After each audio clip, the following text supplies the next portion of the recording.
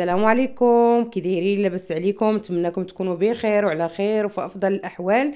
اليوم إن شاء الله غنشارك معكم هذا الخبز الإيطالي اللي الصراحة كيجي رائع. آه ما تنساوش ديروا like والاشتراك للفيديو باش يوصلكم دائما الجديد. آه ندوزو الطريقة والمقادير على بركة الله. بالنسبة للعجين ديال الخبز الإيطالي الفوكاشيا عندي هنايا نص كيلو ديال الدقيق الأبيض وعندي معلقة كبيرة ديال الخميرة الفورية وعندي معلقة السنيده وعندي واحد الخماره الحلوى وعندي ربع كاس ديال زيت الزيتون وعندي الماء دافئ باش نجمع العجين. ندوزو للطريقه على بركة الله. بالنسبة للطريقة اللي سهلة غندير ديك المعلقة الخميرة الفورية وديك المعلقة السنيدة وغادي ندير الخماره الحلوى تقدروا تعوضوها بواحد المعلقة ديال حليب غبرة. وغادي ندير داك الربع كاس ديال زيت الزيتون وغادي نعجن بالماء الدافئ كيف ما قلت لكم. كيف العجينه العاديه اللي كنعجنو. وما غنساوش واحد القبيصة ديال الملح راني ما ذكرتهاش لكم في المقادير. غادي نجيبها اللي ضروريه نديرو شوية الملح. وغادي نجمع العجين ديالي. بالنسبة للعجين ما تخليوهاش قاصحة حاولوا تخليوها مرخوفه ودلكوها جيدا. أنا غادي نجمع العجين ديالي وغادي ندلكها وإن شاء الله ونتلاقاو باش نوريكم كيفاش كتجي في الأخير. نحاولوا ندلكوها مزيان. اللي عنده العجانة يديرها في العجانة. غادي يدلكها لي حسن اللي ما عندوش يديرها بيدو بحالي. ندلكها ونتلاقاو إن شاء الله. هيا بعد ما دلكت العجينة كيف كتشوفوا هي كتجي مرخوفه ومدلوكه مزيان غادي دابا غنجيب واحد شوية زيت الزيتون غادي ندهن به هاد العجين ديالي وغادي نجيب الفيلم أليمونتير أو أي بلاستيكة ولا شي زويف. وغادي نغطيها وغادي نحاولوا نديروها في شي بلاصة اللي تكون سخونة. دابا راه كيف ما كتعرفوا الحال راه بارد كاينة الشتيوه الحمد لله عليها. ونخليوها حتى تختمر إن شاء الله مزيان. ونتلاقاو. هي العجينة ديالي راها ضاعف الحجم ديالها وخمرات. هانتوما كيف كتشوفوا. أنا غنجيب واحد اللاطة. غنديرها في هاد اللاطة ديال ديال الكيك عندي كبيرة.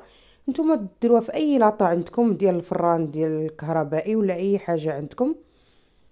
نحاولوا ندهنوها بقليل من زيت الزيتون حيت الأساس ديال هذا الخبز الإيطالي هو زيت الزيتون.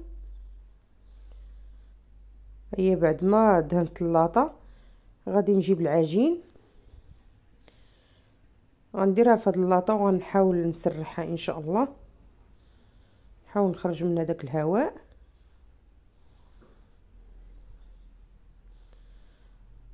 غادي نحاولوا نسرحوها. نتوما كتشوفوا العجين كتجي رائعه وكتجي رطبة. نحاول نسرحها مزيان على هاد على شكل هاد هاد المول اللي عندي.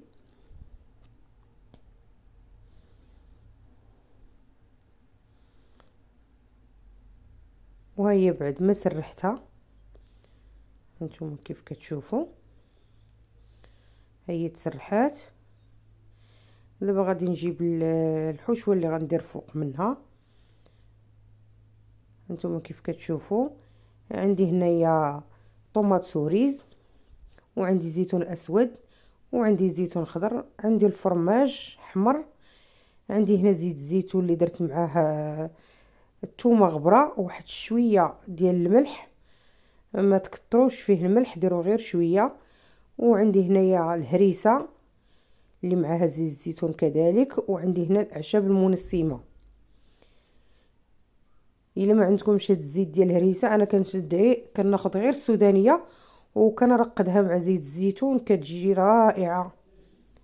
وهاد الهريسة كتبقى اختيارية لما بغيتوش ما ديروهاش. ولكن الصراحة ما كتجيش حارة ولكن كتعطي واحد الطعم اللي رائع لهاد الخبز ديالنا. غادي نحاول نجيب هاد العجين وغادي نشكلو على هاد الشكل.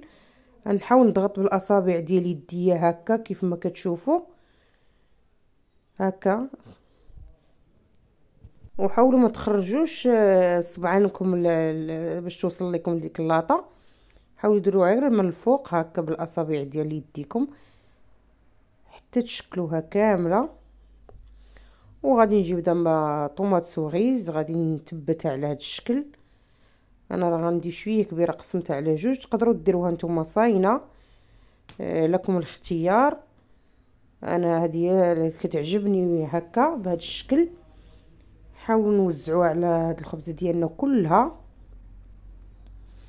اي بلاصة ما فيهاش غادي نديروها فيها. وغادي نبقاو مستمرين. حتى نسالي كاع هاد ومره مرة نضغطوا على العجين ديالنا. راه حنا هي قد ما كنبقاو حنا نديرو في في الحشوه وهي كتختمر. بعد ما ساليت ال tomates cerises غادي ندير الزيتون خضر. حتى هو غنحاول نوزعو. أي بلاصة ما فيهاش غنديرها في غندير فيها. آه صدقوني صدقوني كتجي رائعة الصراحة. نتمنىكم أنكم تجربوها لأن هي مفضلة عندي. وكنديرها بزاف. وقلت علاش لا ما نشاركهاش معاكم. واقتصادية كيف ما كتلاحظوا ما فيهاش شي حاجة اللي كثيره آه غادي كذلك الزيت الأسود حتى هو نوزعوه هكا. البلاصة اللي ما فيهاش نديرها فيها نديرو فيها. وكيف ما قلت لكم الصراحة كتجي زوينة زوينة بزاف. وأنا أكيد إلا جربتوها غتولوا تنتوما بحالي معتمدة عندكم. أه تقدروا ديروها في الكوتي تقدروا ديروها أه تفطروا بها أه تقدروا ديروها هكا في رمضان إن شاء الله. وغادي نوزع كذلك هاد الفرماج احمر في بلاصة فرماج حمر ما عندكمش فرماج حمر تقدروا ديروا موتزاريلا تقدروا ديروا أي جبن كيعجبكم ديروه. آه ما كاينش إشكال. ولكن الصراحة أنا هاد الشيء هو اللي كندير فيه دائما وكتجي زوينة بزاف. نشوفوا كاع البلايص اللي ما فيهمش الفرماج نديروه فيه نديرو نوزعوا هاد هاد الفرماج على هاد العجين. نحاولو نديرو الجوانب. كتجي بنينه بنينه بنينة الصراحة بنينة كتجي بزاف. وغادي نبقى مستمرة هكا حتى نسالي هاد القطع ديال الفرماج اللي عندي. إن شاء الله بإذن الله. وغادي نجيب دابا دوك الأعشاب المنسمة. آه الزعتر زعيترة آه، اليازير أي حاجة عندكم تقدروا ديروها آه هما كيعطيو واحد الطعم اللي زوين. وغادي نجيب داك زيت الزيتون اللي درت فيه الثومه غبرة وداك شوية الملح والهريسة. شوفوا اللون ديالو كيف كيجي. أنا راه كندير تقريبا هنا آه واحد نص كاس نص كاس صغير ديال زيت الزيتون. هي قد ما درتو فيها زيت الزيتون كتجي رائعة. غادي نحاول نوزع هاد الزيت عليها كلها. غادي نجيب واحد الشيته غنحاول نوزع عليها هكا باش ما تجيش بلاصة فيها وبلاصة لا. غنحاول نقادها مزيان والفران راه شاعل بطبيعة الحال. آه، من الفوق ومن التحت ونقصوا عليه إلا عندكم ديال الضوء عندكم ديال الغاز.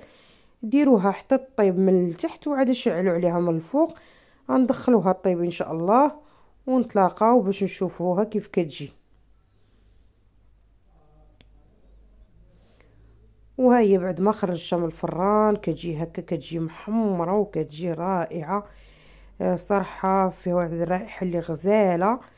أنا قطعتها معاكم. ها نتوما كيف كتجي؟ كيجي كتجي الخبز رطب بزاف وكيجي زوين.